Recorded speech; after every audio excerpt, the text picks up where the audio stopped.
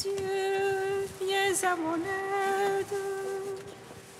Seigneur, viens à mon secours. Gloire au Père, au Fils, au Saint-Esprit, maintenant et toujours. Dans les siècles des siècles, Amen. Alléluia. Roi du ciel, consolateur. sweeter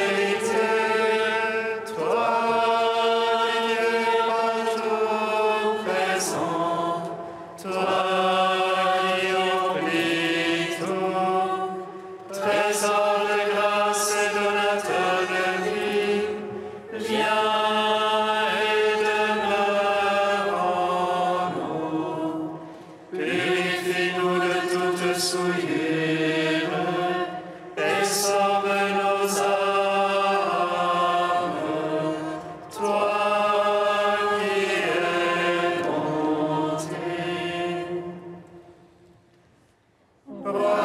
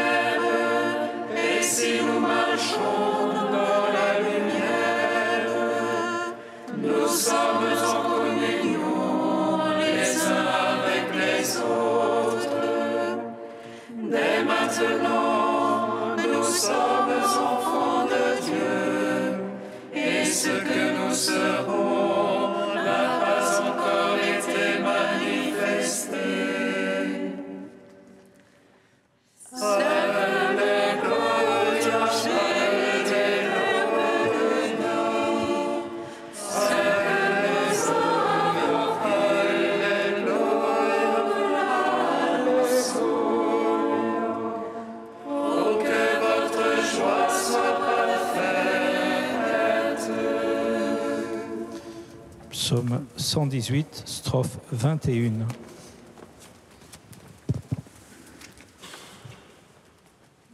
Que les cieux se réjouissent, que la terre exulte à la face du Seigneur, car il est bien. Que les cieux se réjouissent.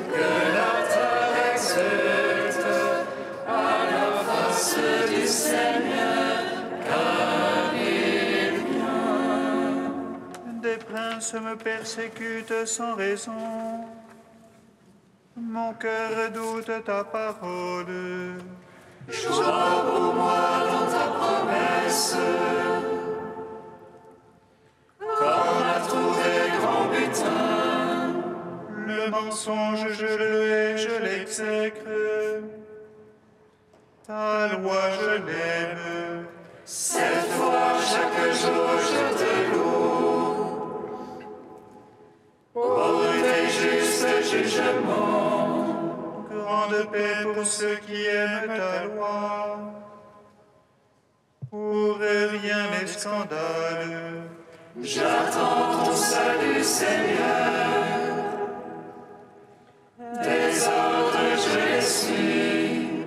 Mon âme observe ton témoignage. Je l'aime entièrement. J'observe tes préceptes, ton témoignage. Toutes mes voies sont devant toi. Gloire au Fils, au Saint-Esprit. Pour les siècles des siècles, Amen. Que les cieux se réjouissent, que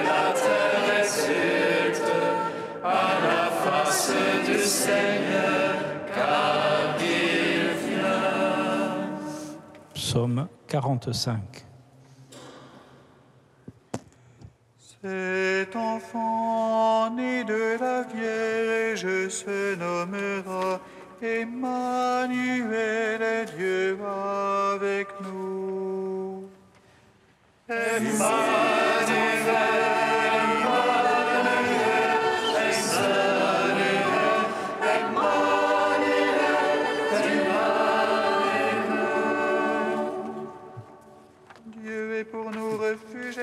force, secours dans l'angoisse toujours offert. Aussi ne craindrons-nous si la terre est changée, si les montagnes chancellent au cœur des mers. Un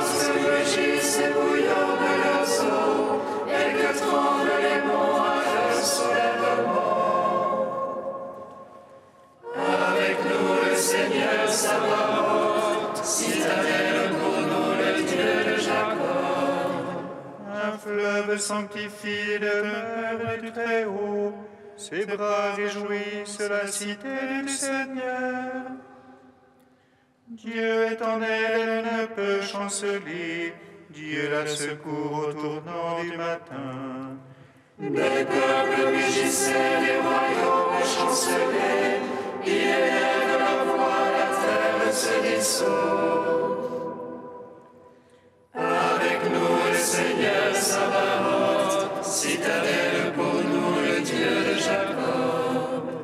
Allez contempler au fait du Seigneur, lui qui remplit la terre de ses peurs.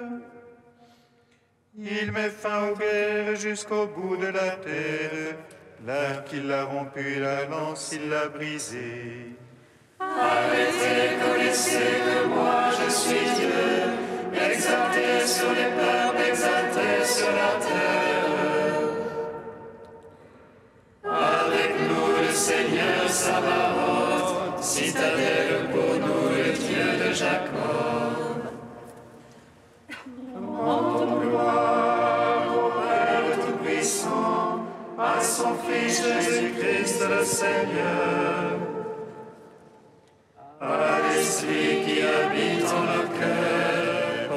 siècles des siècles. Amen.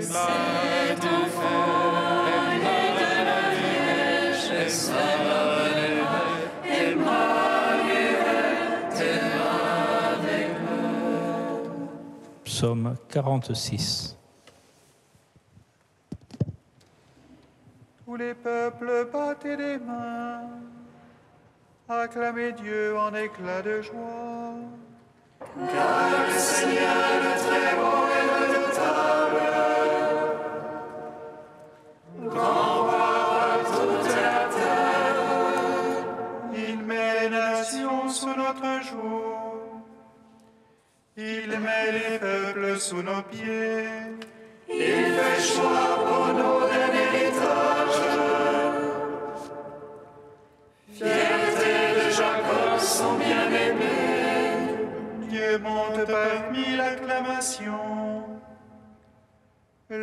Seigneur aux éclats du corps.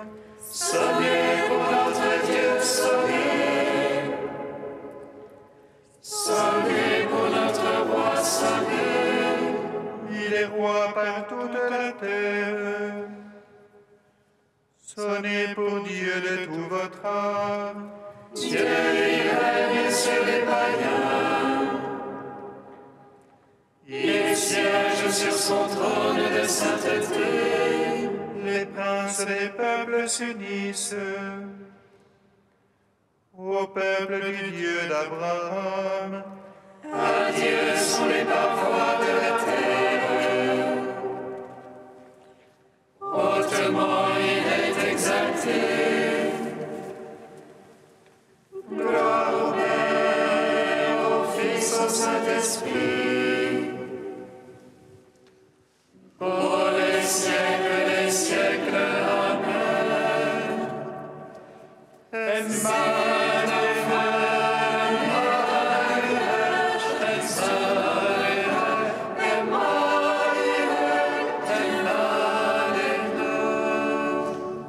Cantique d'Isaïe 52, page 294.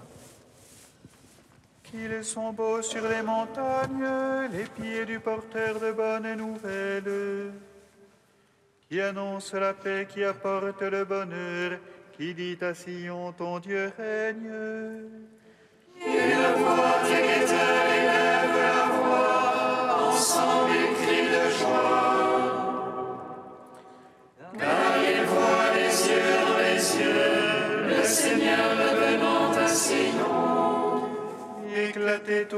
Cris de joie, ruines de Jérusalem.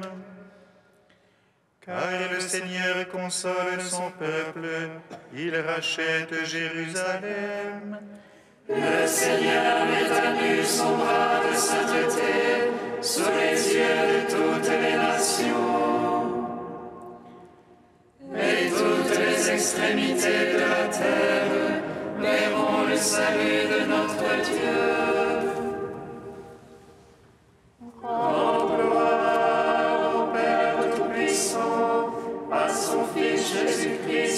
Seigneur à l'Esprit qui habite en nos cœurs, pour les siècles des siècles. Amen.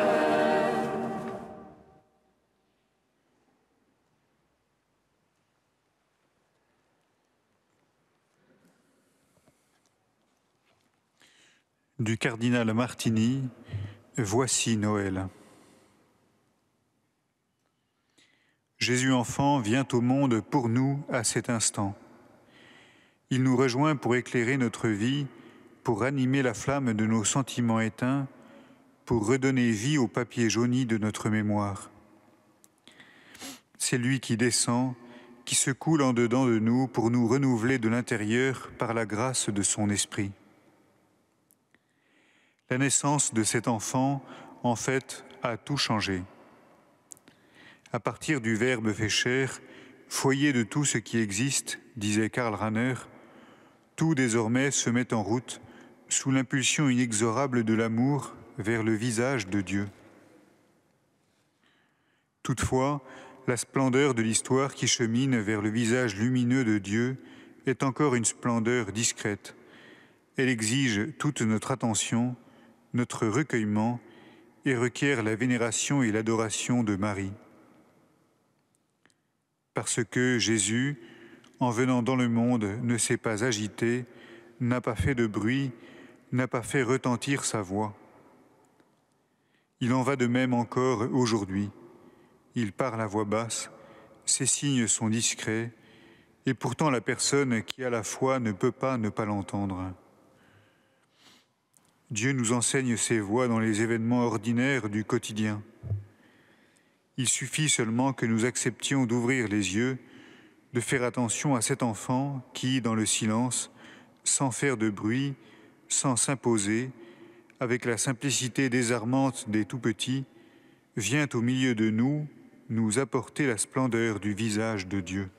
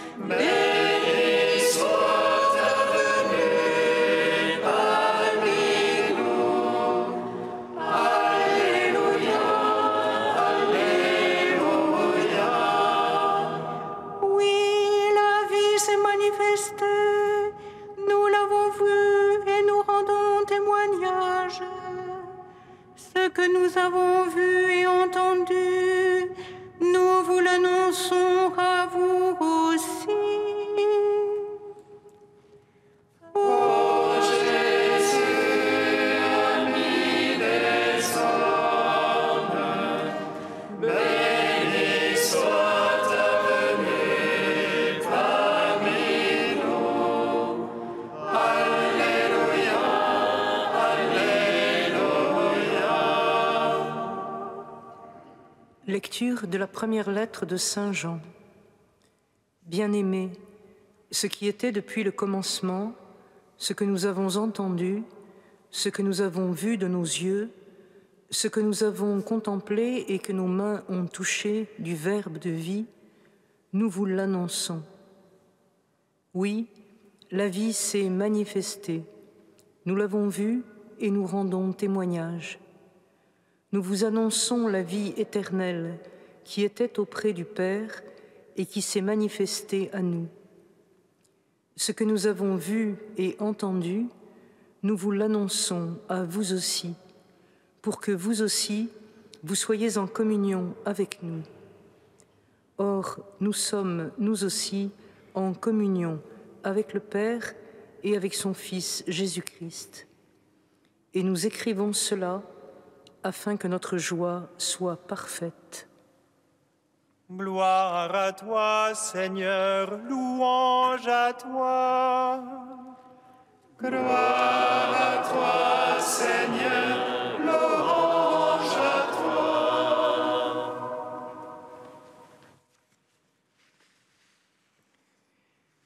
Au surlendemain de Noël, nous revenons de la crèche où nous avons contemplé de nos yeux et touché de nos mains l'enfant qui nous est donné, le Fils de Dieu devenu Fils de l'homme. Et voici que la célébration de la fête de Saint Jean nous donne d'entendre le début de sa première épître. En une phrase longue, haletante, qui tourne sur elle-même et se brise soudain, comme emporté par l'élan de l'amour qui le presse, il essaie de faire saisir ce que fut le partage de la vie du Dieu de toute éternité venu dans la chair. Expérience qui comble tous les sens, qui sollicite yeux, mains et cœurs avides d'être comblés de la présence. Mais les textes de la liturgie nous donnent aussi à contempler une toute autre expérience, celle du tombeau vide. L'Évangile, choisi pour la fête, montre le disciple bien-aimé, tout aussi empressé, courant vers le jardin du matin de Pâques. Mais qu'a-t-il là pour rassasier ses sens? Rien. Il ne voit rien que l'absence. Il ne touche rien que le vide. Et paradoxalement, il vit et il crut. C'est à partir de là, en ce lieu où la mort a menacé de tout engloutir, en ce moment où n'existe plus que la foi nue, que Jean va reconstruire toute son expérience de Jésus-Christ, de la manifestation de la vie, de la parole de vie coéternelle au Père dès le commencement et ayant pris chair d'homme que l'on peut voir, entendre et toucher. La méditation sur cet écart vertigineux donne à la parole que Jean essaie à son tour de proférer son caractère à la fois si simple et si essentiel qu'il décourage la glose ou le commentaire. Car Jean aussi a parlé. Il y a, toute proportion gardée, comme un même mouvement qui s'établit entre la manifestation du Verbe envoyé pour révéler le Père et l'expression du disciple envoyé pour témoigner ce qu'il a vu et entendu du Fils de Dieu sur terre. Et ce mouvement s'étend à tous ceux qui accueillent son témoignage et se mettent à leur tour à l'annoncer. Car selon Origène, un père de l'Église du IIIe siècle, cette expérience vécue par le disciple bien-aimé, chacun doit la réitérer Nul, disait Origène, ne peut saisir le sens de cet évangile s'il ne s'est penché sur la poitrine de Jésus et n'a reçu Marie pour mère. C'est dire que le croyant ne se contente pas du témoignage verbal des disciples qui lui annoncent Jésus-Christ, mais qu'il peut aussi accéder à la même expérience spirituelle en étant, selon le terme de Jean, en communion avec le Père et le Fils. Comme le Fils est éternellement auprès du Père, la traduction précise serait plutôt tourner vers le Père, nous pouvons tourner vers le Fils, vivre de l'unité que forment le Père et le Fils. Ce jour-là, vous reconnaîtrez que je suis en mon Père et vous en moi et moi en vous. Nous vivons ce jour-là. La naissance du Fils nous y a plongés. Et la joie pure, mais encore fragile de Noël, s'élève comme les prémices de ce qu'annonce le disciple bien-aimé, la joie en plénitude.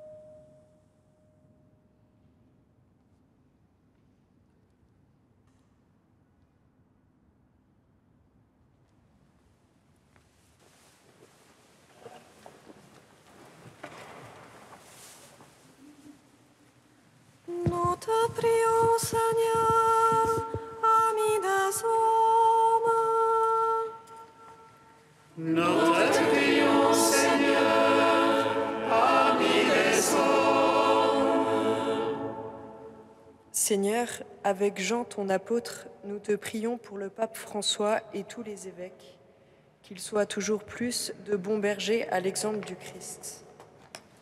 Nous te prions, Seigneur, Seigneur, avec Jean, témoin du Verbe fait chair, nous te prions pour tous ceux qui te cherchent sans le savoir et qui t'attonnent sans te connaître. Que ta grâce illumine leur conscience et qu'elle ouvre leur cœur. Nous te prions, Seigneur, ami des hommes. Seigneur, avec Jean, disciple du crucifié ressuscité, nous te demandons de nous faire entrer toujours plus dans le mystère pascal et de découvrir quotidiennement combien il est grand l'amour dont le Père nous a comblés. Nous te prions, Seigneur, des hommes.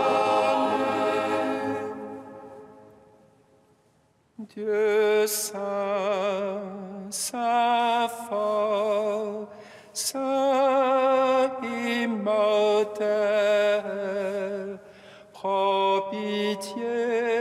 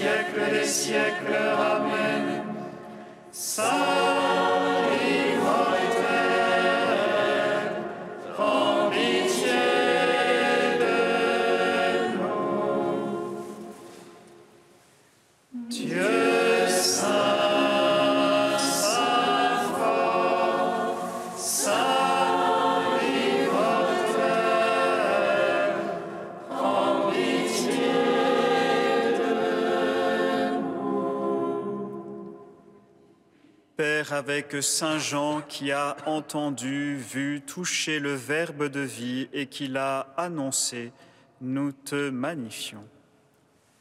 Notre Père qui es aux cieux, Que ton nom soit sanctifié,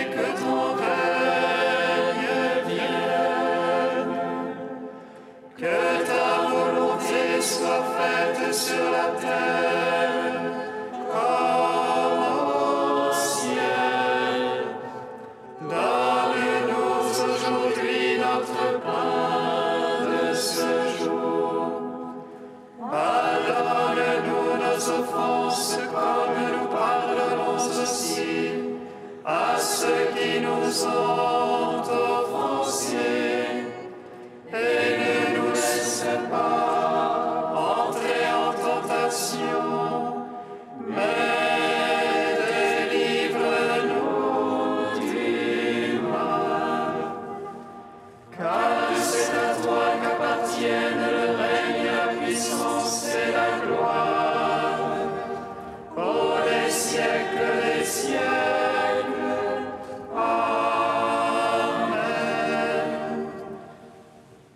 qui a dévoilé pour nous les mystères de ton Verbe grâce à ton apôtre Saint Jean, rends-nous capables de comprendre et d'aimer les merveilles qu'il nous a fait connaître. Par Jésus-Christ, ton Fils, notre Seigneur et notre Dieu, qui vit et règne avec toi et le Saint-Esprit maintenant et pour les siècles des siècles. Amen. Bénissons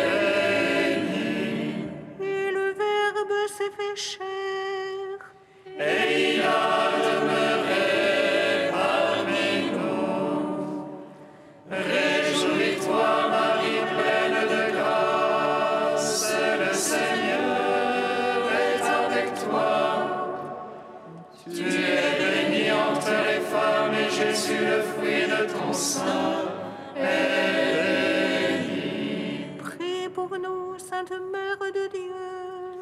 afin que nous soyons